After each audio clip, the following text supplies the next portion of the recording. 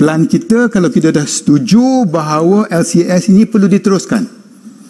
Kalau kita semua setuju bahawa isu-isu yang berkaitan dengan rasuah, mereka yang menyalahgunakan kuasa dibawa ke muka keadilan.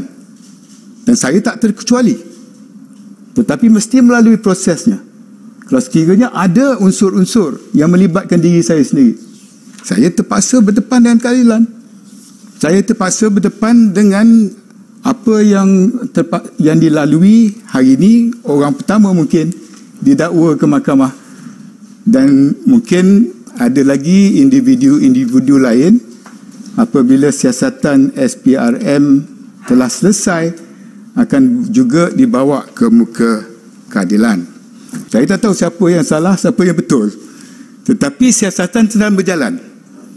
Dan insya Allah kita akan sampai kepada tahap untuk mengetahui siapa yang betul-betul salah. Bagi saya, saya nak pastikan perancangan kita ke depan dapat membantu TLDM menerima kapal-kapal yang diperlukan di bawah rancangan 15 ke 5 vendor-vendor yang terlibat.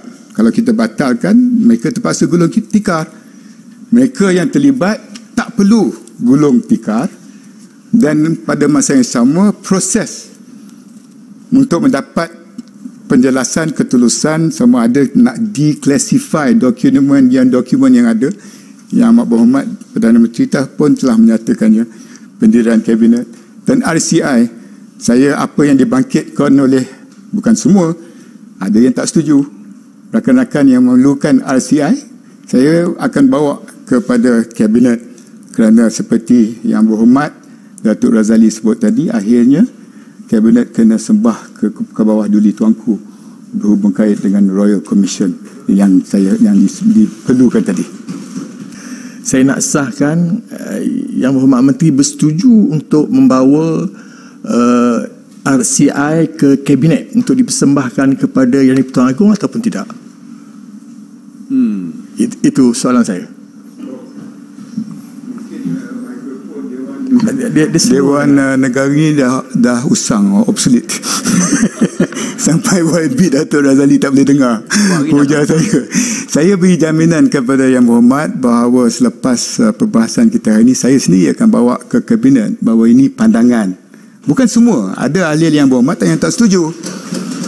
Tetapi ini tanggungjawab saya uh, untuk bawa kepada kabinet uh, hari Rabu ini dan saya akan lakukan. Jadi itulah dia Tan Sri yang betul saya yang ahli-ahli yang buat saya cukup berterima kasih yeah. di atas peluang yang diberikan hari ini. Sekian. Tan Sri boleh tanya sikit tak? Wassalamualaikum warahmatullahi wabarakatuh. Menteri Kanan Pertahanan telah pun selesai